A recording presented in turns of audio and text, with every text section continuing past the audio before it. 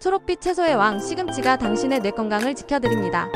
시금치는 비타민 K, 엽산, 루테인과 같은 풍부한 영양소로 가득 차 있어 일찍부터 건강의 비밀 무기 역할을 해왔습니다. 특히 비타민 K와 엽산은 뇌의 인지 기능을 촉진하고 노화로 인한 인지 장애를 예방하는 데 탁월한 효과가 있습니다. 또한 시금치는 철분이 풍부해 혈액 생성에도 도움을 줍니다. 하지만 주의할 점도 있는데요. 시금치에는 옥살산이라는 성분이 있어 과도하게 섭취하면 결석이 생길 가능성이 있습니다. 따라서 적정량을 섭취하는 것이 중요합니다. 시금치는 다양한 요리에 활용될 수 있어 레시피로도 다채롭게 즐길 수 있습니다. 하루 한 끼 시금치 샐러드를 추가해보세요.